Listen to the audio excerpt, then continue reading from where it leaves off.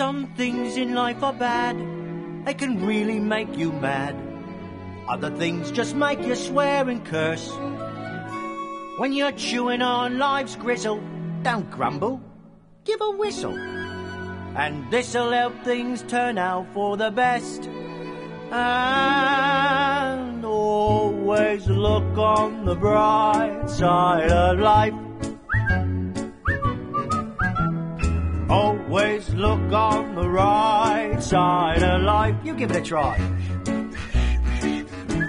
If life seems jolly rotten, there's something you've forgotten. And that's to laugh and smile and dance and sing. When you're feeling in the dumps, don't be silly chumps. Just purse your lips and whistle, that's the thing. And always look on the bright